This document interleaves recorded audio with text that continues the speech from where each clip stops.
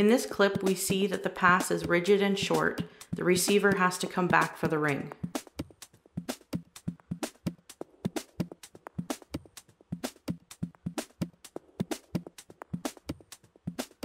In this clip, the body movement of the passer appears stiff and lacking a smooth flow as she makes the pass.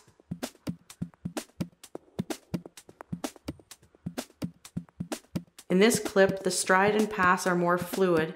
The receiver needs to adjust and come back to the ring.